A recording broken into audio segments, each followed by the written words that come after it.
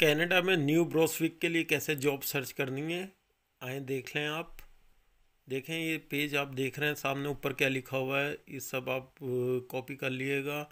इस तरह आपने इस वाले लिंक पे जाकर क्लिक करना है, ठीक है? तो ये देखें, इस पे हम क्लिक करेंगे। ये खुल गया। ये देखें, इसकी ऑफिशियल साइड है न्यू ब्रोसविक की। ठीक है, किसी और साइट पे जाके कुछ करने की ज़रूरत नहीं है। इसमें देखें, नीचे तीन ऑप्शन दे रहे हैं ये लोग। सही है?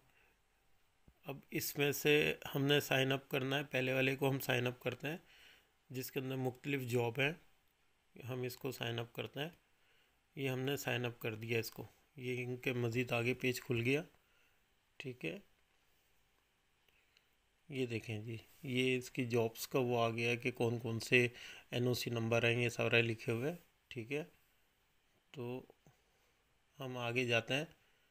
ये देखें, इसमें ये डॉक्यूमेंट्स हैं, ये देख लें। चार डॉक्यूमेंट्स आपको, आपके पास होने चाहिए, जो आगे ये आपसे मांगेंगे, ठीक है? ये नीचे देखें अप्लाई नो लिखा हुआ है, यहाँ पे आप क्लिक कर दें, ठीक है? ये क्लिक कर दिया आपने ये पेज खुल गया, अब यहाँ पे आप अप्लाई करना शुरू करना है। आपने कैसे अप्लाई करना देख लें। सबसे पहले आपने first name last name email confirm email ये लिख, यही डालना है। इसके साथ आप आगे चलेंगे इसको लेकर। ठीक है? ये देखें, ये एनओसी कोड पे आ गए फिर। अब एनओसी कोड क्या है? वही एनओसी कोड जो आपको पहले बताया था।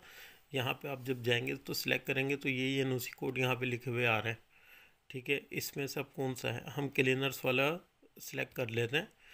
ठीक है, अब जिसका जो कोड हो, जिसमें जिसका एक्सपीरियंस है काम में, ये एनओसी कोड का मतलब एक्सपीरियंस किस काम के अंदर है, उस फ़ील्ड का समझ लें। ठीक है, इसके बाद ये बोलना है कि कितने साल का आपका एक्सपीरियंस है, इस पर क्लिक करें।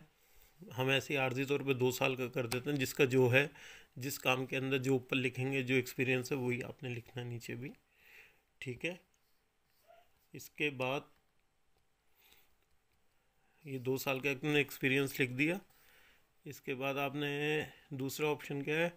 Do you have Canadian federal express entry profile number ये हमारे पास नहीं है तो हम इसे नो कर देंगे। इन्होंने ऑप्शन दिया हुआ क्योंकि हर कोई बहुत से नए लोग जैसे हम नए हैं, अभी फ़र्स्ट टाइम कर रहे हैं तो हमारे पास कुछ नहीं है कनाडा का तो हम नो ही करेंगे इधर।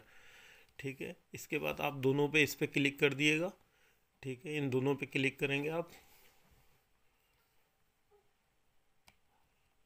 और आगे जाएँगे, इसको एग्री करेंगे और सेफ़ एंड नेक्स्ट कर देंगे तो इसी तरह दूसरा पेज आए